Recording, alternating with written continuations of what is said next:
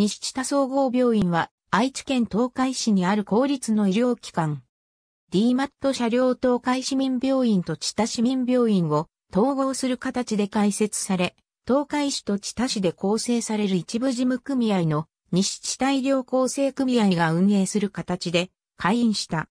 知多半島北西部の中核病院で急性期療に重点を置く方針を掲げているため、開院時から地域医療機関の紹介状のない一般の外来患者の受け入れは行わない形で運営されることになった。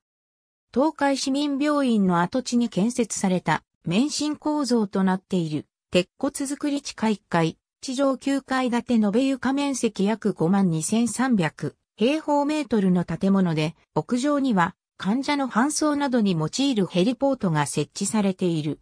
DMAT 指定医療機関であり、DMAT 専用車両を1台保有している。詳細は公式サイトの交通アクセスを参照。東海市のランラン、バスと知多市のアイアイバスという運営する両市の循環バスが2015年5月3日から正面玄関まで乗り入れを開始。この循環バスにより、名鉄大田川駅や朝倉駅、辰巳ヶ丘駅などの主要駅と接続された。また、名鉄南鍵谷駅、大田川駅、朝倉駅、新し舞子駅からのシャトルバスも運行されている。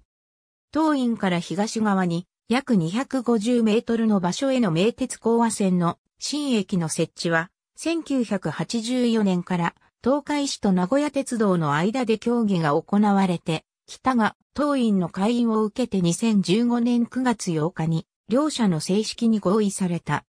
この新駅は高横須賀駅南鍵谷駅からともに約 1.4250km の中間地点とされており、事業費は全額東海市側が負担することで合意した。なお、この合意時点では、駅名や正式な開業時期は未定とされた。